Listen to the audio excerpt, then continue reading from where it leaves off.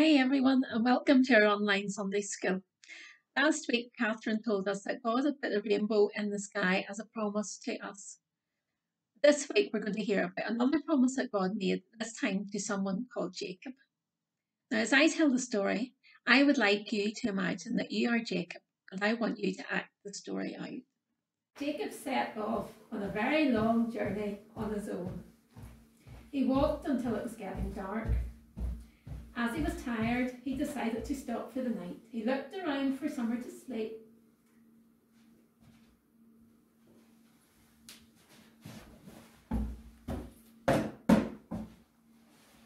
And he was soon fast asleep.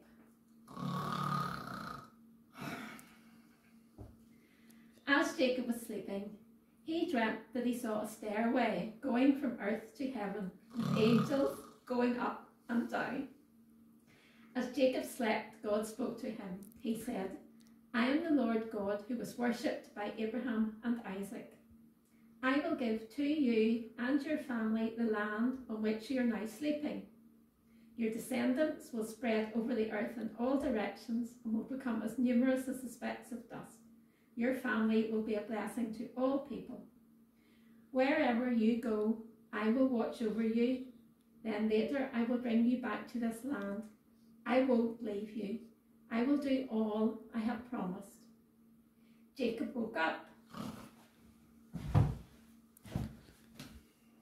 How might you have felt after you woke up? A bit scared, maybe? This is how Jacob felt. Jacob woke up suddenly and thought, the Lord is in this place, and I didn't even know it. Then Jacob became frightened and he said, This is a fearsome place. It must be the house of God and the ladder to heaven.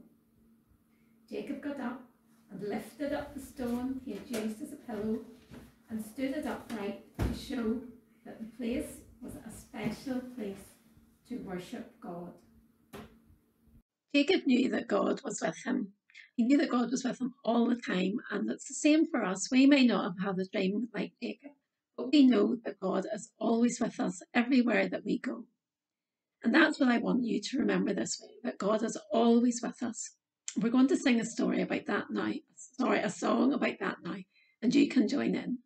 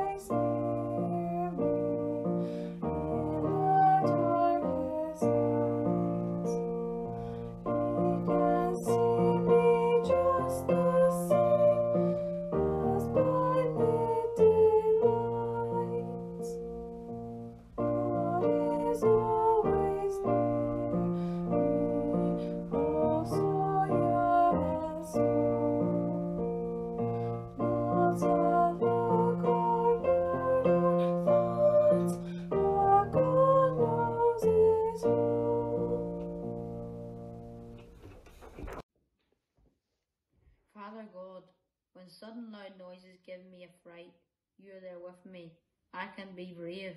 When lightning flashes and thunder rumbles, you are there with me and I can be brave. When ordinary things look much different in the dark, you are there with me. I can be brave.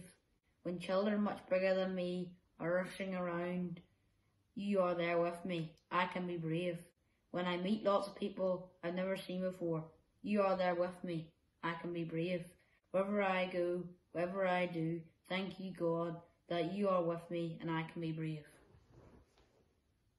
Joshua 1 verse 9 says, Do not be frightened and do not be dismayed, for the Lord is with you wherever you go. I've got some simple crafts here at night for you just to help you remember that God will always be with you.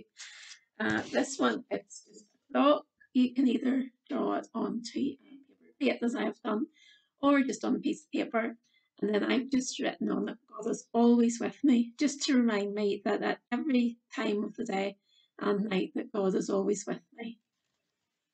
And then this one is I've drawn around my foot and at the top I've written on it, God is with me wherever I go, just so that we remember that no matter where we are, whether we're at home, at school, outside with friends, playing in the snow, no matter what we're doing, that God is with us wherever we go.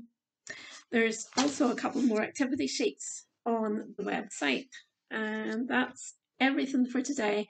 But if you keep watching, you'll see lots of photographs from yesterday when people were playing in the snow.